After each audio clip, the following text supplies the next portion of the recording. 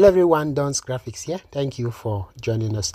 In today's tutorial, we are looking at how to design a night party flyer and also how to add a lens flare with the help of just Pixellab. I know there are lots of applications that add lens flare, but today I want to focus on Pixellab so you will learn how to add a lens flare that gives your flyer this beautiful look. If you are joining us for the first time, please kindly subscribe to the channel and make sure that you have turned on notification so you don't miss out whenever we release new and other amazing tutorials.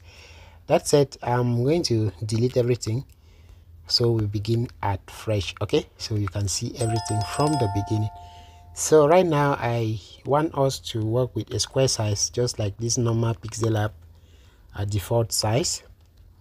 Uh, it's uh, 1280 by 1280 that is the size so you can proceed to click on import.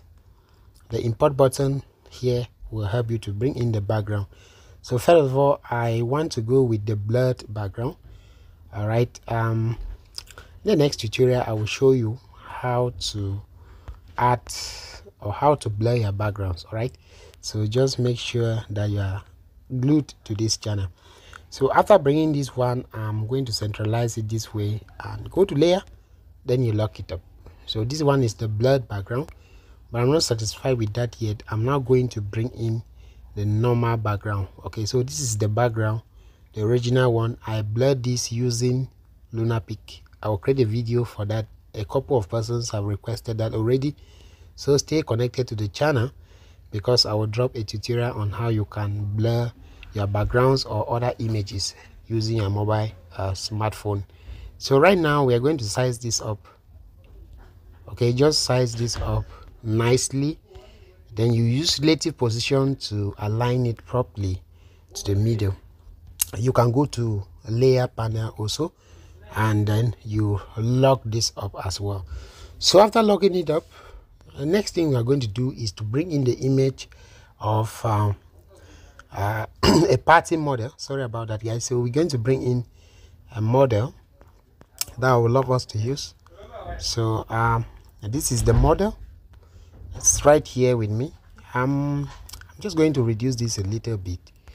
Use lazy position now so you know tack it to the middle. So as you can see it's uh, having a blue color but we're going to play around with this image go to color filters. Make sure you have clicked on the image. Go to color filters and increase the hue by 180 degrees. Now you can see the image is blending with the background. Don't touch saturation come to brightness and give it a brightness of 5 and uh, you want to add the contrast to about 15 click on your check mark and you are good to go. Go to layer and then you lock this up. So from every indication this image is just hanging all right? This image is just hanging okay uh, one thing i forgot go back to this uh, second background that we imported this one and then you reduce the opacity of it all right? So let's reduce the opacity of that background. Go to opacity and then you reduce the opacity a bit uh, to about 30 percent to make it fade up with the default background. So like i was saying this image is hanging okay? We got to do something about that so just go to your shape select a square shape go to gradient and now we're going to create a, a shadow kind of effect but it's going to help us for so many things. So let's first of all click on the plus button and um, click here and here to set up uh, okay let's first of all click here the first color and here to set up the gradient. So let's reduce the opacity of this color then you want to click here on this the third or the fourth gradient pattern. Now you want to click here on the um, uh, rotate or the inverse button to invert this color and push the black color to the middle. Then you shift this closer and boom we've created something like a shadow. So just click on your check mark then you are good to go. All right?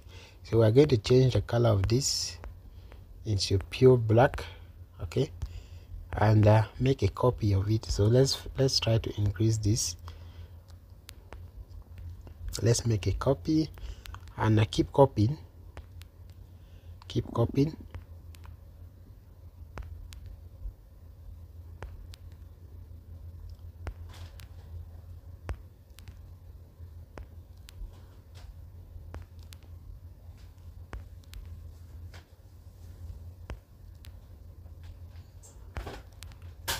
so I'm just going to copy.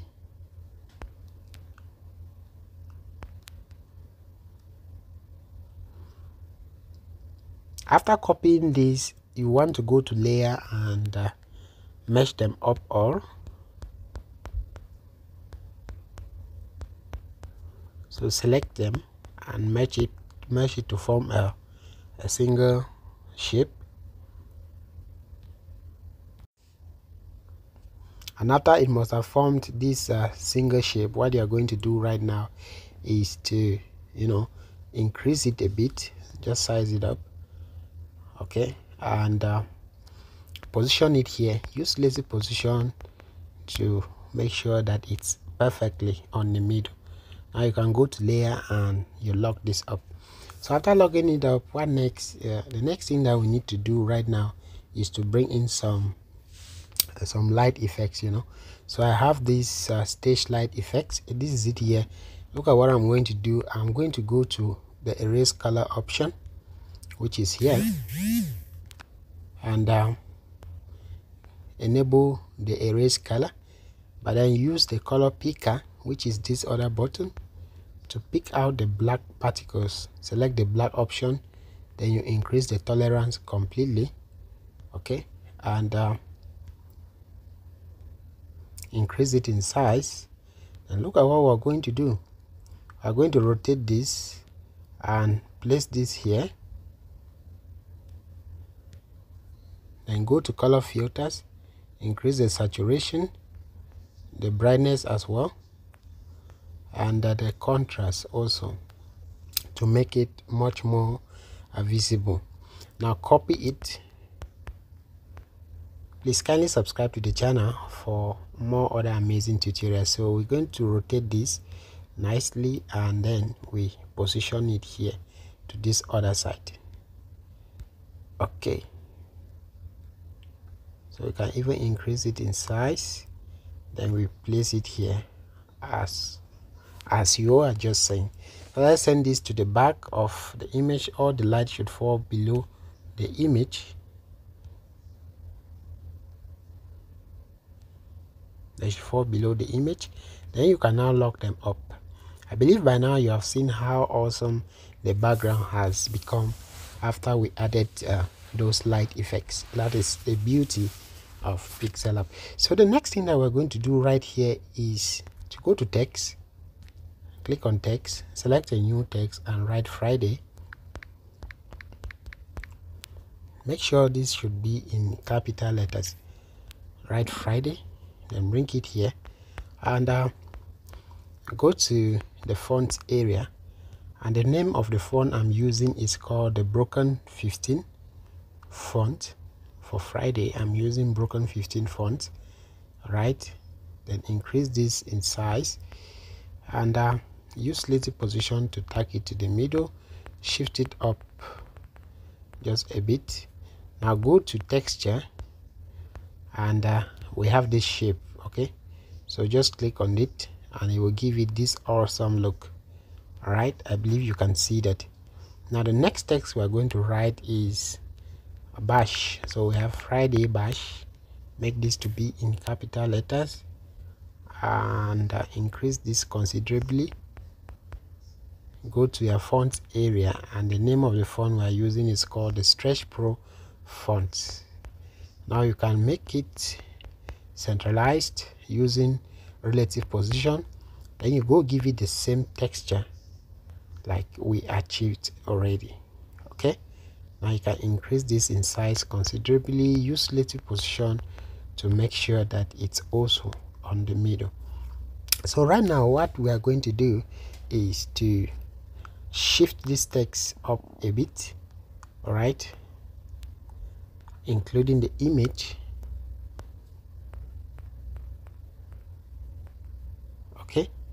so it should be up a bit because we'll need a lot of space down here to write other important stuff. So we have friday bash which is the first thing. Then the next thing that we're going to do is to write uh, the venue. It's at uh, cloud 9 cloud 9 launch so this event uh, the friday bash is happening at uh, cloud 9 launch now go to your font area and with the we are still continuing with uh, the stretch pro font we're going to reduce this in size considerably. Use relative position to make sure that it's on the middle. And uh, just shift this down a little bit. So after shifting it down the next thing that we're going to do is to bring in the a shape. Let's first of all select this shape.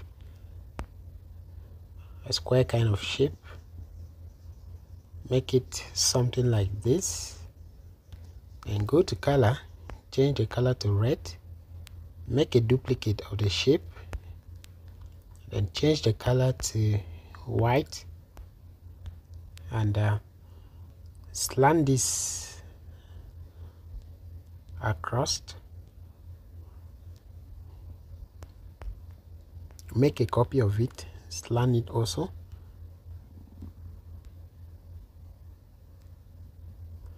Then go to layer and match all of them up. Go to your erase color. Erase it up now come to crop and let's crop this out.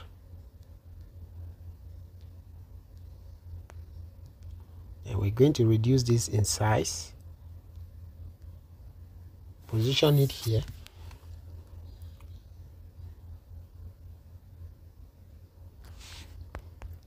Make a copy of it. Increase it in size. And position it this way and we're going to change the color of this to white. So that is for a purpose. We're going to to be using that. You're going to see it. All right? Okay now so why do we need that? Let's copy this text. We need it for the date. So it comes up on the 29th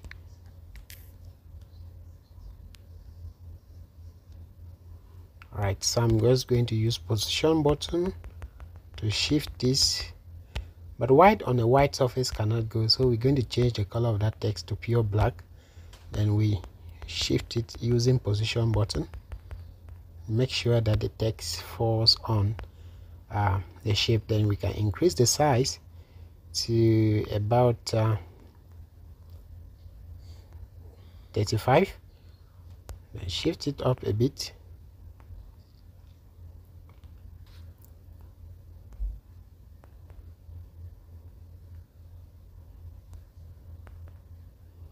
now let's copy that text and uh, edit it out to September.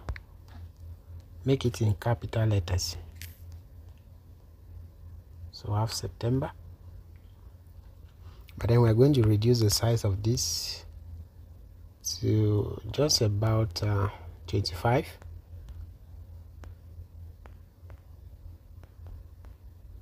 then we align it properly directly below uh, that 29th now we're going to lock them up okay? Then we copy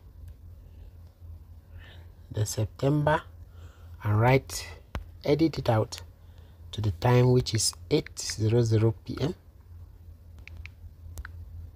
so let's just write uh, 08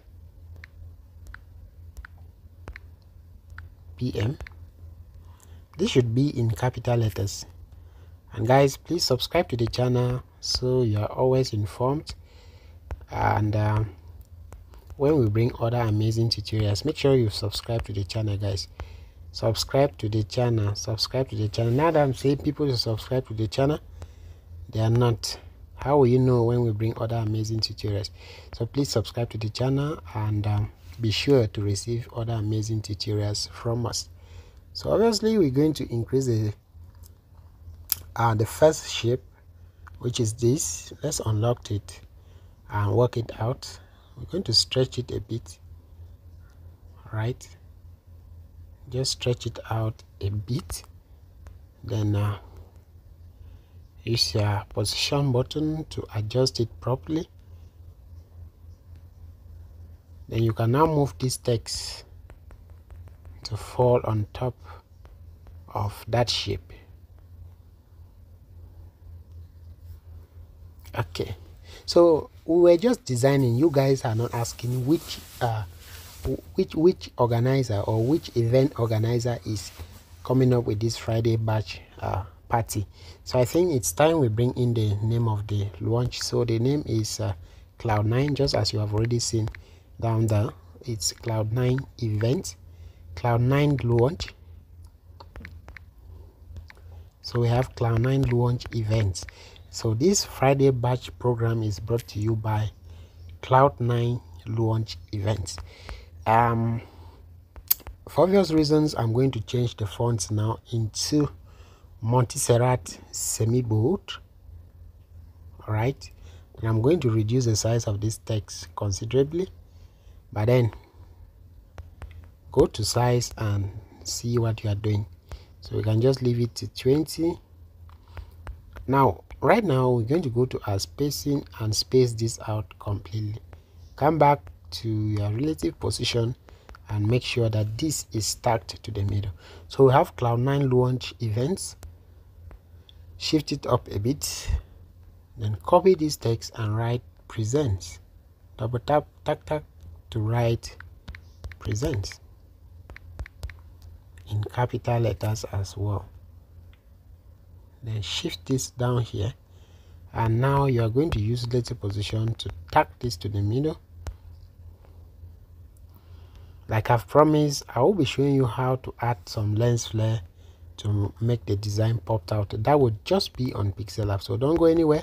Keep watching the tutorial till the very end and please as you watch subscribe to the channel for yet more other amazing tutorials the resources i've used here in this design will all be shared in uh, through the link that i will leave on the video description. So we have cloud9 cloud9 launch events presents friday bash at cloud9 launch.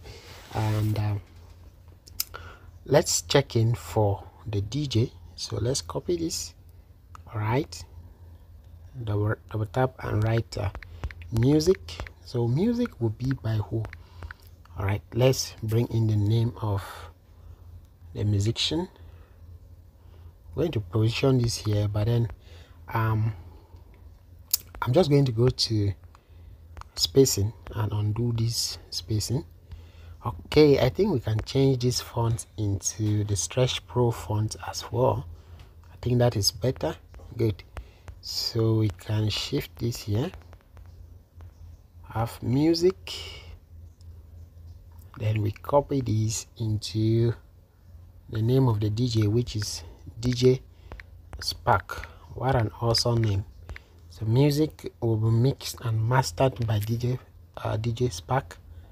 But then look at what we're going to do guys. We're going to change the color of this. You know color combo composition is one of those important concepts in graphic designing. I'm going to use a perfect red for this all right perfect red color then do some technical adjustments here to make the name fall out like what you are seeing on your screen. So after achieving all of these what next? We're going to copy this and write the address okay? We're going to bring in the address. So this event comes up at um, 237 Central District, Central uh, District Plaza, New City 09. This is the address of uh, the Cloud9 Lodge. We're going to make this to be in capital letters. Then, uh, for obvious reasons, I'm still going to undo that spacing remember we're maintaining the same Montserrat font all right so um i'm going to space this out. Let's check if we can increase the size of this all right so guys we can increase the size of this to 25 click on relative position to make sure it's adjust properly to the middle. And you can shift this up a bit. And look at what i'm going to do. Go back to spacing. This time around click on word spacing. On word spacing. I'm saying word spacing. Some guys are still clicking on letters click on word spacing guys then you increase the spacing to your desired taste. Right i think 30 is proper. Um too much of everything is nothing. So let's use relative position to ensure that it's on the middle. Now let's copy this text to give in further details. And uh, we're going to say for more for more inquiries and uh, information and reservation all right let's use reservation. So they should contact a particular uh, telephone line uh, which the number is 0098 76587 okay so this is uh, the contact address. Make this to be in capital letters. Click ok and as you can see it's too broad. We are also going to reduce this in size. So let's step this back to 20 and use little position to ensure that it's properly aligned to the middle of our design. Okay good. So this is it. And the last thing that we're going to bring in here right now is uh, the the age restriction logo this is it here. I will leave it in the video description. The link on the video description will have that. So all of this is exclusively for people above the age of 18 okay so um, it's always very important to include this restriction. Now onto the game changer. How do you add a lens flare now because we are done with the text and every other thing. How can you add a lens flare now to your design? Go back to shape okay we're going to do something similar to what we did with the shadow.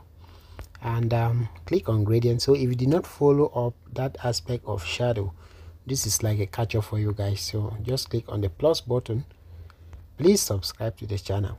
Subscribe to the channel. Okay share the video. Like it out. Drop your comments. Ask questions in the comment section. I'll be reading and answering all your questions. So um we're going to use this third part fourth pattern sorry. I don't know why i'm only repeating fourth or third. This is the third pattern right? This is the third pattern color gradient pattern. So we first of all click on it and then let's swap these colors all right? Let's swap it so that the black color should be on the middle. Then we have this white or light color here. Click on it here and click here. So let's go click here and here then reduce the opacity of this completely to zero. Click ok and you have your shadow. Now you're going to click here to draw this closer okay to the black color. And what you're going to do now is to click on ok all right? And all we have is a black shadow. So what are we going to do? Change the color okay let's change the color into a color that is the background. When you look at this background you can see that there is a yellow light radiating from the background. So we want to create that impact that impression that the light from the background is reflecting on this uh, on this model. So i'm on this person all right? So i'm going to go to color and search for that particular color uh, that yellow color I'm going to search for the yellow car. um, this is it here. I think this is too much. So let's change it to this. So I'm using this for the color okay? Click on the check mark and you have this. So look at what we're going to do. We're just going to position it here. And as you can see it's already creating some uh, lens flare. Shows that this light from the background is reflecting on the, the person. You can as well increase this to your desired taste if you want okay just increase it if you want. There are no issues at all with that. So you can just position it this way. But then you're going to reduce the opacity a bit. Okay can you see that? So that it blends well with the background. And now everything is perfect. Everything is ready. So we can even reduce the opacity again. Just to about 50 percent. Okay and i think it's awesome. So that's it guys. Uh the various fonts i've used for this design i will share them also in the video description. Make sure that you've liked the tutorial share it out with your friends. It was really awesome um, having you a part of this uh, design tutorial on Don's graphics. Please subscribe to the channel like the video and drop your questions in the comment section. I'll be reading through. Thank you so much for watching but as you go always remember to save your work using this button okay? So guys save your work and uh, that will be it for today's tutorial. Thank you so much for watching. God bless you. See you in our next tutorial